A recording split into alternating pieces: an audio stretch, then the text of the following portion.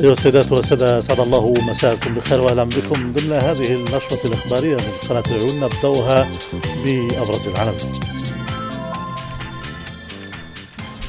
أكاديمية جهة الدخل والذهاب في الصدارة في نتائج الامتحان الوطني للباكالوريا على الصعيد الوطني.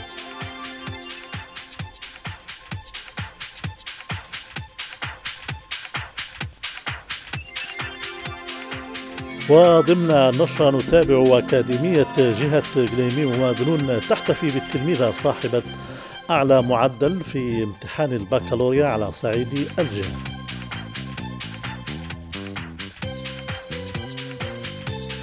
ومن العيون نتابع الأطر والأساتذة المتدربين بالمركز الجهوي لمهن التربية والتكوين بالعيون ينخرطون في عملية إنسانية للتبرع بالدم.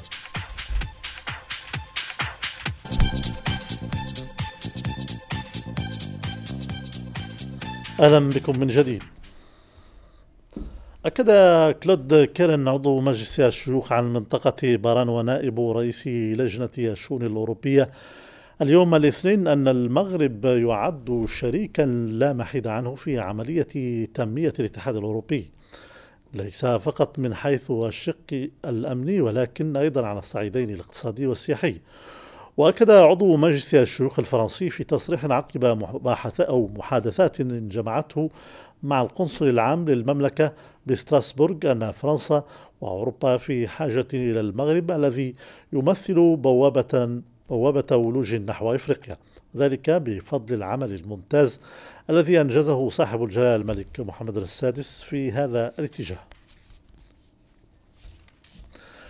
أجرى سفير المغرب في وارسو السيد عبد الرحيم معثمون اليوم الاثنين لقاء عمل مع فاعلين اقتصاديين بولونيين تم خلاله استعراض فرص الاستثمار في المملكة. وتطرق للتسهيلات المالية واللوجستية التي يتم وضعها رهن إشارة المستثمرين الأجانب وخاصة في الأقاليم الجنوبية التي تتمتع بمزايا بمزايا عديدة من جانبه عبر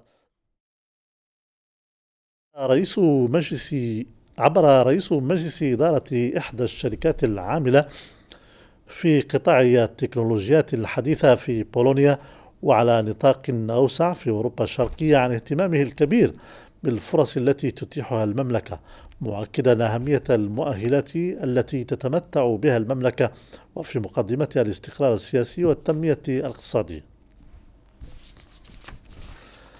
أزيد من 221 ألف. تلميذ وتلميذة هو عدد الناجحين في الامتحان الوطني لنيل شهادة البكالوريا دورة يونيو.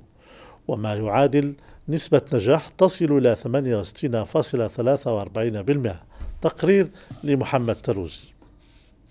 عدد الناجحين في الامتحان الوطني لنيل شهادة البكالوريا دورة يونيو. بلغ هذه السنة 221,031 تلميذ وتلميذة. أي بنسبة نجاح تفوق 68% مقابل 63% في نفس الدورة في السنة الماضية. أعلى معدل عام على المستوى الوطني بلغ 19.53 بسلك العلوم الفيزيائية بالمديرية الإقليمية لمراكش وبالنسبة للمتمدرسين في قطب الشعب العلمية والتقنية نسبة النجاح بلغت أكثر من 66% بينما بلغت النسبة في قطب الشعب الأدبية والأصيلة أكثر من 73% من مجموع الحاضرين. بخصوص المسالك الدولية للبكالوريا المغربية فاقت نسبة النجاح 78% وبلغت النسبة في مسالك البكالوريا المهنية حوالي 60% المترشحون في وضعية إعاقة الذين استفادوا من تكييف اختبارات الامتحان الوطني الموحد وظروف الإجراء والتصحيح فقد فاقت نسبة النجاح في صفوفهم 67% نسبة النجاح لدى المترشحين الأحرار فاقت 41% للإشارة فقد بلغ عدد المترشحين والمترشحات لاجتياز هذه الدورة 323,022 تلميذ وتلميذة من المتمدرسين. أما العدد الإجمالي للمترشحات والمترشحين المتمدرسين المسموح لهم اجتياز الدورة الاستدراكية فيبلغ 92,581 تلميذ وتلميذة. فيما يبلغ عدد الأحرار الذين سيجتازون هذه الدورة 56,813 مترشح ومترشحة. وستجرى هذه الدورة من الخامس إلى الثامن من الشهر المقبل على أن يتم الإعلان عن النتائج في الحادي عشر من الشهر ذاته. والأكاديمية الجهوية للتربية والتكوين للداخل وادي ذهب احتلت الصدارة بين ناظراتها على الصعيد الوطني بنسبة نجاح بلغت 80.28% بخصوص نتائج الدورة العادية للامتحان الوطني الموحد لنيل شهادة البكالوريا روبورتاج ريبكا ديبي ومحمد يداس. جهة الداخل وادي الذهب تتصدر نتائج امتحانات البكالوريا على المستوى الوطني نسبة النجاح في صفوف المتمدرسين بالجهة خلال الدورة العادية لامتحانات البكالوريا لسنة 2021 بلغت 80.28% في مقابل 62.79% خلال نفس الدورة من سنة 2020 لتحقق بذلك جهة الداخل وادي الذهب المرتبة الأولى وطنيا. نفتخر بالنسبة اللي حققتها الأكاديمية الجهوية للطب والتكوين على الصعيد الوطني وهي المرتبة الأولى في نسبة النجاح يعني بمجموع أو بنسبة نجاح عامة آه، يعني لحق 80.27% وطبعا لدينا مجموعة يعني ما ما يعني ما ما يريحنا أكثر آه، ويفرحنا أكثر على ان بعض الشعب فيهم نسبة نجاح 100% مثلا كنشوفوا آه، يعني علوم الحياة والارض آه، خيار فرنسية نسبة النجاح فيها 100% وعلوم العلوم الرياضية ألف نسبة النجاح فيها 100% كذلك الشعب ادبيه الإناث يتفوقن بجهة الداخل وادي الذهب في نسب النجاح في امتحانات البكالوريا لهذه السنة. عدد الناجحات والناجحين المتمدرسين بلغ ما مجموعه 1038 متمدرسا وبلغت نسبة النجاح لدى الإناث 84.88% في حين بلغ عدد الناجحين في صفوف الأحرار 290 مترشحا ومترشحة. بنسبة نجاح بلغت 49% هذه النسبة هذه طبعا فيها آه، ذكور وإناث. إذا طبعا كنشوفوا غير على أن الإناث من مجموع هاد التلميذات والتلاميذ اللي نجحوا راه كتشكل النجاحات 56 فاصلة 30% يعني طفلات وحتى نسبة النجاح ديال الفتيات راهي أكثر من النسبة العامة. يعني هي لاحقة في الفتيات 84.88% كنسبة نجاح على أن هذا يعني فخر كبير للجهة باش باش تحقق هذا النجاح هذا. وتبقى الخطوة القادمة هي تهيئة هؤلاء التلاميذ المتفوقين لعدد من المباريات الوطنية في المدارس العليا والمعاهد والجامعات من خلال تنظيم أيام تكوينية تحسيسية وتأطيرية وتوجيهية لتحقيق المزيد من النجاح لولوج هذه المؤسسات العليا. بمعدل 18.34 تصدرت التلميذة سيماء الفضيل قائمة المتفوقات والمتفوقين دراسيا في مسلك البكالوريا هذا الموسم على صعيد جهة قليمين موادرون. تفوق استحق احتفالية مميزة تليق بحجم الحدث نظمتها الأكاديمية الجهوية للتربية والتكوين بقليمين في المتابعة حافظ محضار عياد السرتي ومحمد مشرف. يوم استثنائي لك كل الأيام بالنسبة للتلميذة شيماء الحاصلة على أعلى معدل في نتائج البكالوريا هذا الموسم بجهة قليم مودنون. 18.34 نقطة تصدرت بها هذه التلميذة النجيبة قائمة المتفوقين هذه السنة فاستحقت هذه الاحتفالية التي دعت إليها الأكاديمية الجهوية بحضور الطاقم الإداري والتربوي للمؤسسة الأم باب الصحراء الحاضنة لتألق وقوة عطاء هذه التلميذة. فخورة بزاف هاد هاد المرتبة اللي حصلتها وشكرا على الاستقبال وعلى التتويج اللي داروه ليا في, الأكاديمية الجهوية. كنشكر والديا اللي دائما كان السند ديالي في أقوى اللحظات خصوصا أن حنا دوزنا عامين متتالية. وكان هاد التتويج كان هو اللي كان خاصنا وكنشكر الأساتذة اللي دعموني سواء على المؤسسة ديال باب صحراء التأهيلية والأساتذة ديال الدعم ديال مؤسسة نور. الحمد لله الحمد لله. أنا جيت سعيد بالنجاح ديال البنيته وفخور بنتي اللي مثلا استحقاق متميز على صعيد الجهة. وأشكر جميع الأطر الإدارية والتربوية وبثانويه باب الصحراء واشكر كل من ساهم من بعيد أو من قريب. وأتمنى النجاح لجميع الوليدات المغاربة. هذه الاحتفالية توقفت عند محصلة الموسم الدراسي الحالي في سلك البكالوريا وهي النتائج التي بوأت جهة إقليم موادن مرتبة مشجعة وطنيا بفضل الجهود التي بذلت لإنجاح هذه المحطة الإشهادية على الرغم من الظرف الاستثنائي. الحصول على معدلات جيدة آه، يمكن التلميذات والتلاميذ الحاصلين على شهادة البكالوريا من فتح آفاق رحبة وشاسعة لولوج يعني معاهد عليا آه، سواء ذات استقطاب محدود أو أخرى ذات استقطاب مفتوح وبالتالي تحقيق الطموحات والأمال ديال الأسر. وهذا كيبرز أن منظومتنا التربوية ولله الحمد يعني آه، تحقق نتائج طيبة وأيضا في الآن ذاته تتوج وتحفز المتفوقات والمتفوقين وتمكنهم من تحقيق يعني طموحاتهم وآمالهم. احتفالية بطعم التألق والعطاء والتميز تكرم التفوق وتحفز على المزيد من البذل في القادم من مسار دراسي واعد. ويقيم السزاق في صدارة مديريات التربية والتكوين على صعيد المملكة على مستوى نسب النجاح في مسلك البكالوريا والتي بلغت 80.89%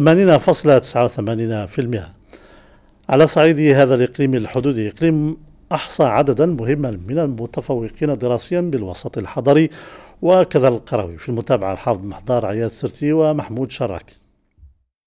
قرية عوين تلهنا بإقليم أسزاك. تصنع الحدث هذا الموسم بعد أن تصدر ابنها عبد الرحيم على التميز والاستحقاق بتصدره قائمة المتفوقين في مسلك البكالوريا على مستوى الإقليم. إنجاز يتوج المسار الدراسي لتلميذ صمم العزم على تبوء الريادة فكان له ما أراد بفضل قوة المثابرة والكد والاجتهاد. الحمد لله تمكنت هذه السنة متفوق حصل على على نقطة على جهة على صعيد إقليم أسزاك الصاك هذا بفضل مجهودات الأساتذة وفضل مجهودات طيلة السنة رغم أنها كانت سنة صعبة واستثنائية لكن بسبب كورونا ولكن استطعنا الحمد لله تجاوز هذه المرحلة وحصل على على نقطة وهذا شرف لي ولوالدي الحمد لله لأن الابن ديالي تفوق وجاب المرتبة الأولى على آه، آه، إقليم اسا إقليم اسا وهذا كيشرفني كيشرف العائلة ديالو آه، كبيرة وصغيرة.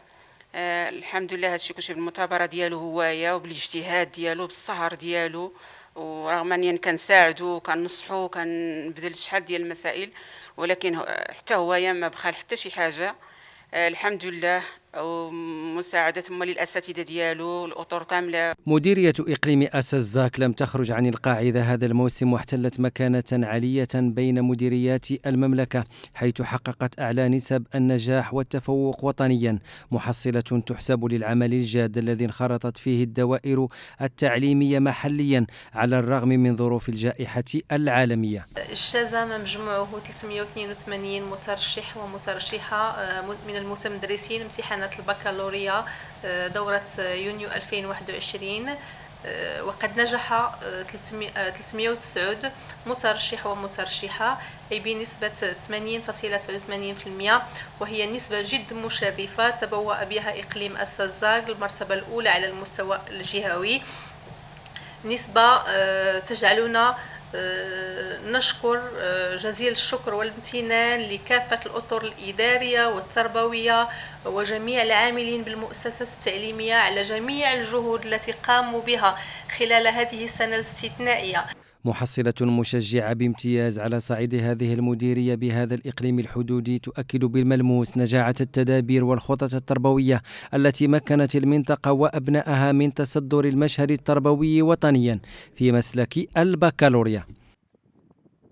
في موضوع آخر أعلن الوكيل العام للملك رئيس النيابة العامة عن إصدار منشور مشترك بين رئاسة النيابة العامة ووزارة الداخلية بشأن تفعيل التدابير المتعلقة بتتبع الاستحقاقات الانتخابية المقبلة وأوضح بلاغ لرئاسة النيابة العامة أن هذا المنشور المشترك الموجه إلى الوكلاء العامين للملك لدى محاكم الاستئناف ووكلاء الملك لدى المحاكم الابتدائية تأتي في إطار التحضير للاستحقاقات الانتخابية التي ستشهدها المملكة خلال الأشهر المقبلة من هذه السنة. من جانب آخر دعا رئيس النيابة العامة إلى التصدي لكل المخالفات المرتكبة بمناسبة القيد في اللوائح الانتخابية بالحزم والصرامة اللازمين.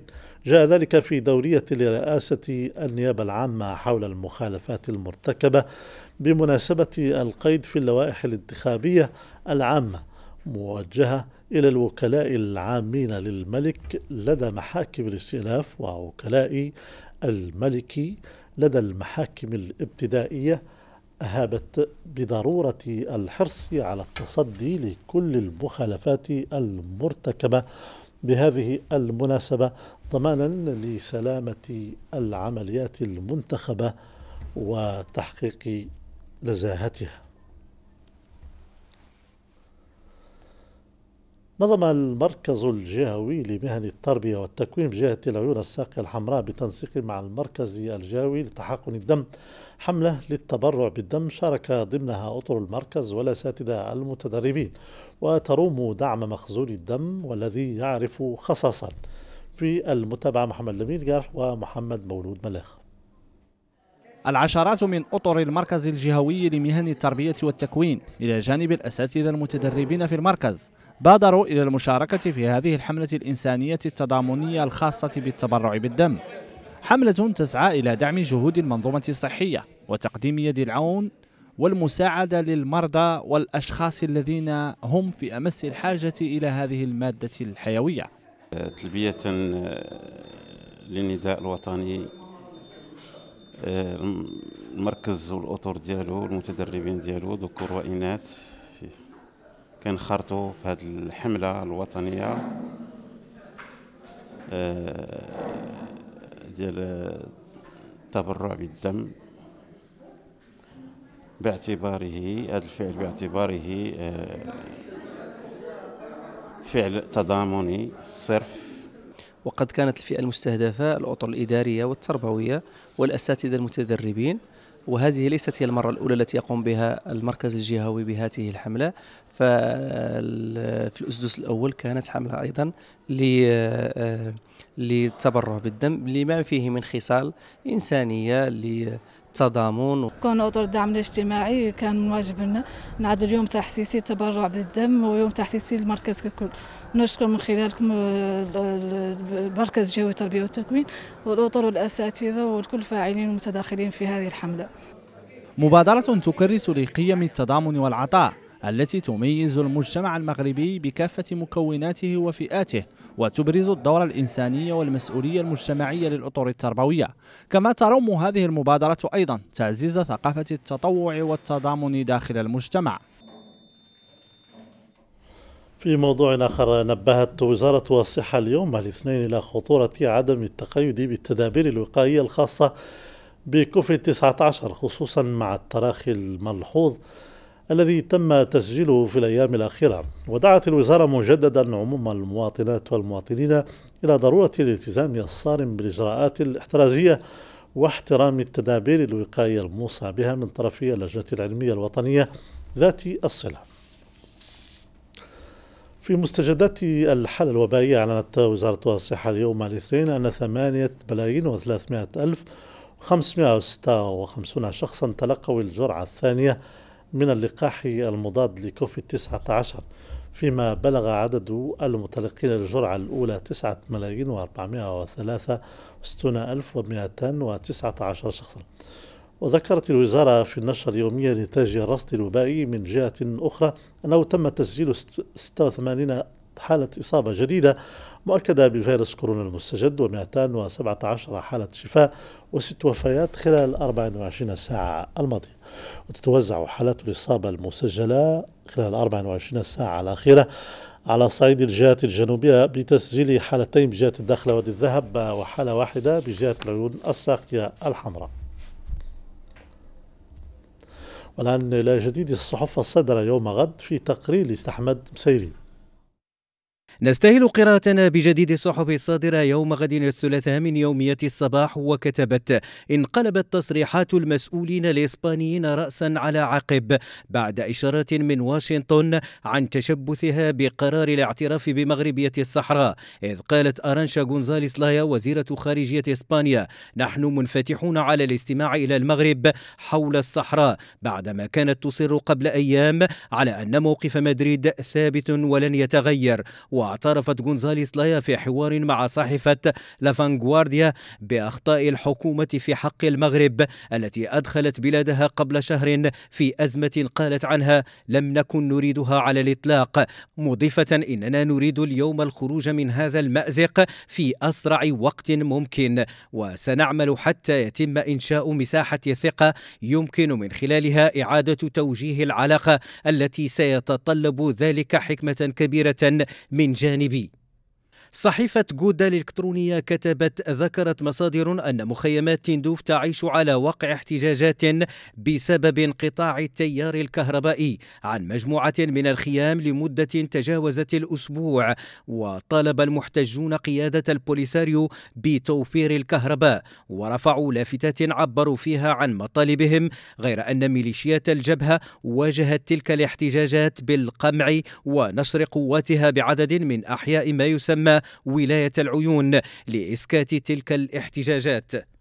صحيفة بيان اليوم كتبت في عددها الصادر يوم غد الاثنين أعرب رئيس مجلس النواب الشيلي وعدد من الرؤساء السابقين ونواب البرلمان الشيلي عن دعمهم وتقديرهم لما تقوم به المملكة المغربية في مجال الهجرة مشيدين بقرار جلالة الملك محمد السادس تسهيل عودة جميع القاصرين المغاربة غير المرفقين الذين يتواجدون في وضعية غير نظامية في بعض البلدان الاتحاد الأوروبي جاء ذلك في رسالة توصل بها الحبيب المالكي رئيس مجلس النواب أكد فيها أعضاء مجلس النواب الشيلي أنه ليس من باب الصدفة أن يختار رؤساء الدول والحكومات بالقارة الإفريقية صاحب الجلالة الملك محمد السادس رائدا في مجال تدبير الهجرة في إفريقيا كما أنه ليس من الصدفة أن المغرب هو البلد الذي يحتضن المرصد الإفريقي للهجرة. وشدد أعضاء مجلس النواب نواب الشيلي على أنه لا يمكن إنكار دور المغرب في محاربة الإرهاب والاتجار في البشر والهجرة غير الشرعية مما ينعكس إيجابا على أمن واستقرار جيرانه في الاتحاد الأوروبي. ونختم جولتنا الصحفية في جديد الصحف الصادرة يوم غد بصحيفة فاس بريس الإلكترونية حيث كتبت أكد حزب العمال أحد أبرز أحزاب المعارضة الجزائرية أن الأغلبية الساحقة من الجزائريين قاطعوا الانتخابات التشريعية التي جرت يوم الثاني عشر من يونيو حيث جددوا رفضهم المطلق للوضع السائد بالبلاد وتمسكهم برحيل النظام وحذرت الأمين العام لحزب العمال العمال من أن نتائج اقتراع الثاني عشر من يونيو ستفاقم الأزمة السياسية بإنتاج مؤسسات تزداد هشاشة أكثر فأكثر. انتقل إلى عفو الله تعالى المرحوم الوافي الصياد والسالمي والحامد عن سنين تنايزو 57 عام الفقيد ينتمي إلى قبيلة تيتوسا المجمعة. أم مسعود كما انتقل إلى رحمة الله الفقيد زمركان جمال والأحمد والإبراهيم والبعلام عن عمر يناهز 43 عاما. الفقيد ينتمي لقبيلة زوافيط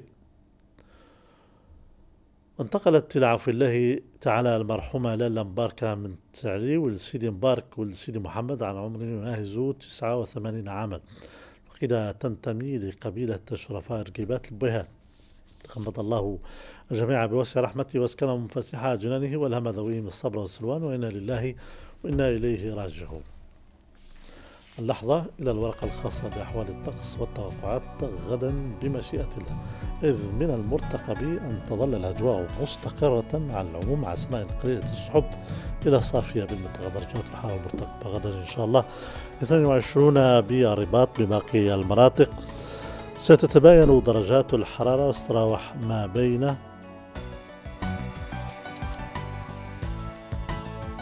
22 بسيدي إفني 24 بكل من طنطان وطرفاية 26 بالعيون وبوجدور بباقي المناطق 24 بالداخلة 34 بمدريقة وكذلك بقلة الزمور 33 بالقويرة و39 مرتقبة بأوسط.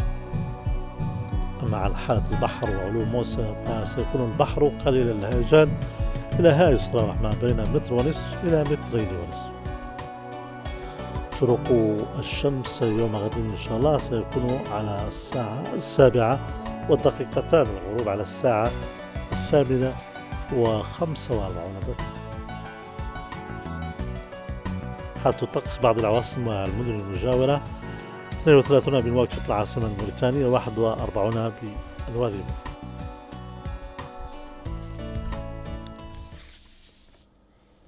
ولمن فاتته مضامين هذه النشرة إليكم أبرز العناوين.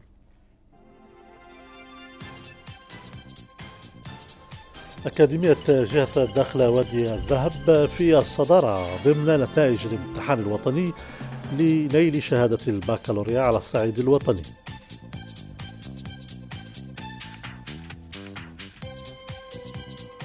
وضمن نشرة تابعنا أكاديمية جهة قليميم ووادنون تحتفي بالتلميذة صاحبة أعلى معدل في امتحان البكالوريا على صعيد الجهة.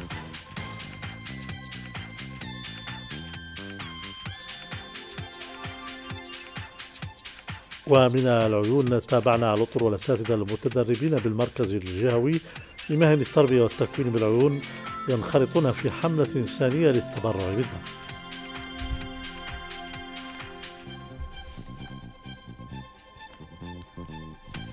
تأتي النشرة الإخبارية في أمان الله.